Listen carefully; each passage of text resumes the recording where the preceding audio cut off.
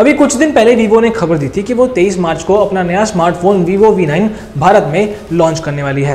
हालाँकि हाल ही में इस फ़ोन का रिटेल बॉक्स लीक हुआ था और अब इस फ़ोन के स्पेसिफिकेशन पूरी तरह से कंपनी की वेबसाइट पर लिस्ट हो चुके हैं। जिन्हें देखकर लगता है कि इस बार ये फ़ोन थोड़ा दमदार साबित हो सकता है।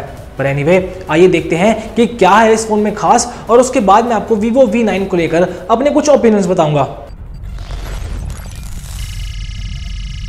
अब सबसे पहले इस फ़ोन के डिज़ाइन और डिस्प्ले की बात करें तो हालाँकि हम इसके कंस्ट्रक्शन के बारे में भी कुछ कह नहीं सकते, पर अगर देखा जाए तो वीवो के पिछले साल लॉन्च हुए स्मार्टफ़ोन पॉलीकार्बोनेट बॉडी के बने थे, और हम उम्मीद लगा रहे हैं कि इस बार भी ये फ़ोन पॉलीकार्बोनेट बॉडी का ही बना होगा, लेकिन इस फ़ोन का जो सबसे बड़ा प्लस पॉइंट है, वो इसका इस बार डिस्प्ले हो सकता है। जी हाँ माना जा रहा है कि इसमें आपको 6.3 इंच का फुल एचडी प्लस रेजोल्यूशन वाला आईफोन 10 जैसे नॉच डिस्प्ले मिल सकता है, जो कि मिनिमम बजट के साथ आएगा।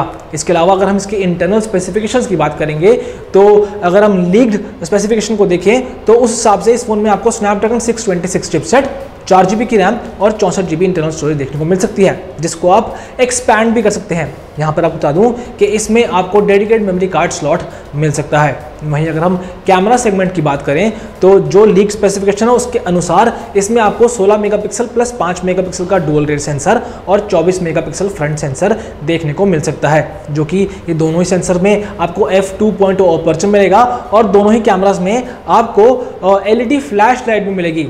वहीं इसके साथ साथ इसमें आपको बत्तीस सौ की बैटरी और एंड्रॉयड ओरियो भी देखने को मिल सकता है। अंत में बात करते हैं इस फ़ोन की प्राइसिंग और अवेलेबिलिटी की। तो हालाँकि इसी कीमत के बारे में अभी कोई जानकारी सामने नहीं आई, लेकिन माना जा रहा है कि शायद ये फ़ोन 20 से पच्चीस हज़ार के बीच लॉन्च हो सकता है।